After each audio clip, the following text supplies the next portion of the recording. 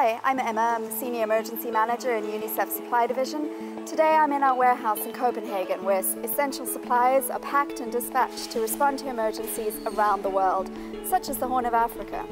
The Horn of Africa today is facing the worst drought in 40 years. 1.8 million children in Somalia, Djibouti, Kenya, Ethiopia and Eritrea are facing life-threatening malnutrition. To respond to the crisis, UNICEF is sending therapeutic food, medicines, water and sanitation items and even multi-purpose tents that can be used as temporary learning spaces or healthcare facilities.